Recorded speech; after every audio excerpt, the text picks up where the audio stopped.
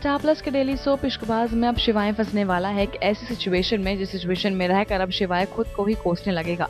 जी हाँ हम बात कर रहे हैं एक बार फिर से नयनतारा वाले ट्रैक की, जिस ट्रैक में अब शिवाय कहीं ना कहीं खुद को दोष देता हुआ नज़र आने वाला है। क्योंकि प्रेस कॉन्फ्रेंस के दौरान अब जो नयनतारा की एंट्री होगी तो ये सब खत्म होने के बाद अब शिवाय उसे सवाल जवाब करेगा, जिसमें नयनतारा वो सब झूठ बोल देगी जो पिंकी ने उसे समझाया होगा। और इसके बाद शिवाय भी मान जाएगा नयनतारा की हर बात को।